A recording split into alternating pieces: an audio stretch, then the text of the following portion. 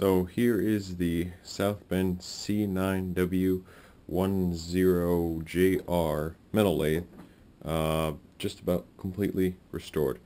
You can see I still got to take apart this headstock here and um, clean out some paint there, but for the most part it's all been wire brushed and cleaned. You can see that's just some grease on there, nothing, no real, no real dirt to to speak of. Nice, nice clean rails. Everything's in good condition.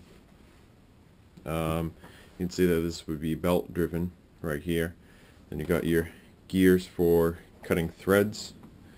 You can see down here you can engage or disengage these gears and then this this gears it down uh, and then engages into that gear and then that proceeds to spin the spindle and what you have to do also is engage that. Once the spindle is spinning it moves uh, the cutting bit ever so slowly towards it you know cutting a groove or you know, cut it cutting the thread.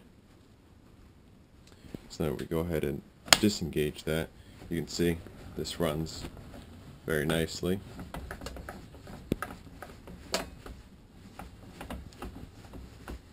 pretty smooth. It's got a little bit of play, um, but I can fix that just by tightening up those screws.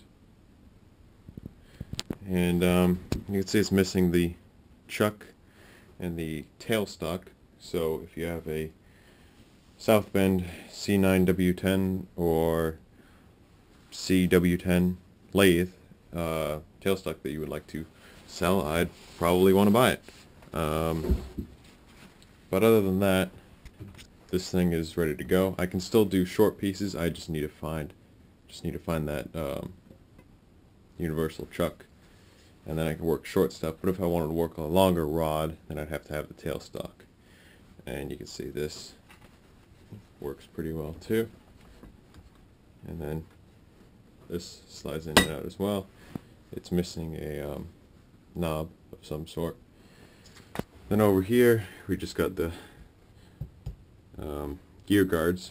This is the one for right over here. Then we got these two for these gears and those gears.